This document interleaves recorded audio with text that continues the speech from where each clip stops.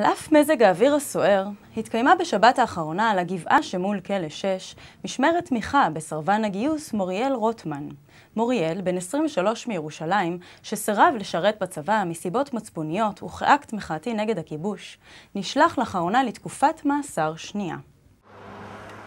אנחנו מכבדים מאוד את אומץ לבך ויכולתך להתמודד עם המערכת הצבאית ולומר לא.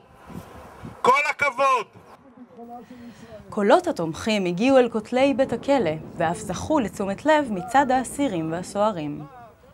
מוריאל, אנחנו איתך!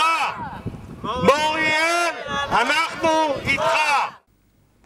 בימים אלו הכריז גם עומר סעד מהכפר הדרוזי מרר על כוונתו לסרב לשרת בצבא. אנו נמשיך לעקוב.